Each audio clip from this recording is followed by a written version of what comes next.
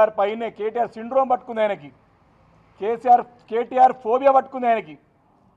ఏ రకంగానైనా సరే ఈయనని ఇరికించాలని చెప్పి ప్రయత్నం భాగం తప్ప అంటే ఈ పెద్దలు లేచి సాయంత్రం వరకు కూడా బీఆర్ఎస్ పార్టీని ఏ రకంగా మరి వారిని వారిని అవమానపరచాలా?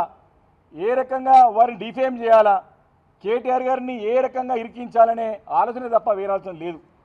మరి స్వయంగా పోలీస్ వారిని ఎక్సైజ్ వారిని రాజ్ పాకాలా గారు స్వయాన కేటీఆర్ బామర్ ఎస్ వారి ఇంటికి వెళ్ళి అంటే ఎలాంటి కంప్లైంట్ లేదు ఎలాంటి సెర్చ్ వారెంట్ లేదు వారి ఇంటికి వెళ్ళి వారందరూ కుటుంబ సమేతంగా పిల్లలు పెద్దలు వృద్ధులు రాజ్ పాకాల గారు అమ్మ కూడా అక్కడ ఉన్నది.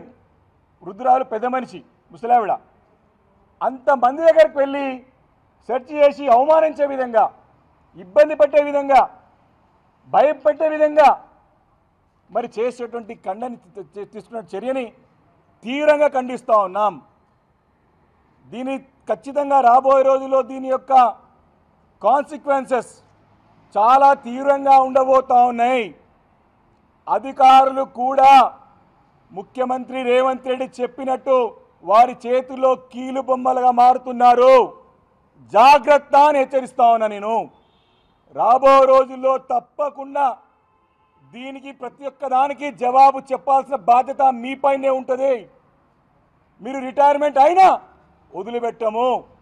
మీరు చాలా తీవ్రంగా ఖండిస్తా హెచ్చరిస్తూ ఉన్నాం. అంటే ఎవరైనా కంప్లైంట్ ఇచ్చిర్రా? ఎవరికైనా పక్కన ఎవరికైనా ఇబ్బంది అయిందా?